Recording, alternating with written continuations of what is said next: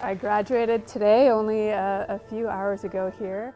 And it's incredible because some of the major courses we learn are robotics, learning to speak Russian, um, learning about the International Space Station and its systems. Astronaut. Cobra pilot Major Jasmin Moghbeli is joining the NASA 2017 astronaut I think I've always liked a challenge and the fact that NASA is a group that comes together, it's taken so much. of our own Baldwinot in our presence. a record-setting pool of more than 18,000 applicants.